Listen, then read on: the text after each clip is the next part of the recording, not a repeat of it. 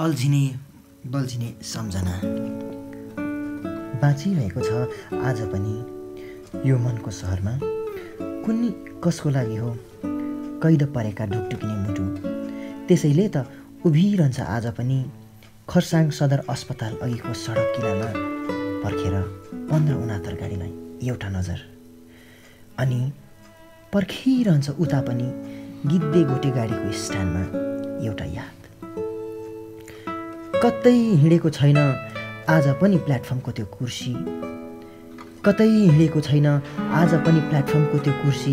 सायद यसै र कि कतै जिन्दगीको ट्र्याकमा त्यो मायाको ट्रेन आउँछ कि भनेर। हेर। हेर रोक्न नै सकेन नि त त्यो एक सय पाँच दिनको बन्दले पनि। हेर रोक्न नै सकेन नि त त्यो एक सय पाँच दिनको बन्दले पनि खरसाङ बजारभरि घुमफिर गरेका मायाका यादहरूलाई न त रोक्न नै सक्यो। सेन्ट मेरिजको डाँडा ग्रोटो चौर मैदान अनि डियर पार्कमा घुमेका यादहरूलाई। सम्झाइरहन्छ डायरीमा कैद परेका सम्झनाका अक्षरहरूले।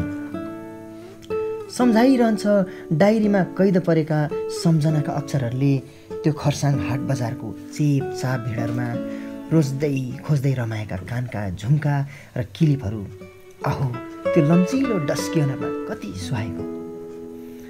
मन के रमाउँथ्यो पानीपुरी दोकानको अमिलो रसले खुम्चिएको डस्की अनुहारका भाव हेर्दै यी आँखाहरू। आज पनि भागेर पुगिहाल्छ रमाउनलाई। आज पनि भागेर पुगिहाल्छ रमाउनलाई त्यो गिद्धेको रक गार्डन नयाँ बजारको बाटो अनि इसीमा यो मन। त्यसैले त सुटुक्क हिँड्छ टोलाउनलाई। एक्लै एक्लै एक सुरले त्यो लभ रोडको सुनसान सडकमा एउटा याद। हेर हेर आज पनि कुराहरूको गड्डी खेलेर थाकेको यो मन निदाउँदा अबे राति निन्द्रामा मायाको तिर्खाले झस्किएर बिउजिन्छ अनि प्रश्न गर्छ यो सम्झना भन्ने के होला नि?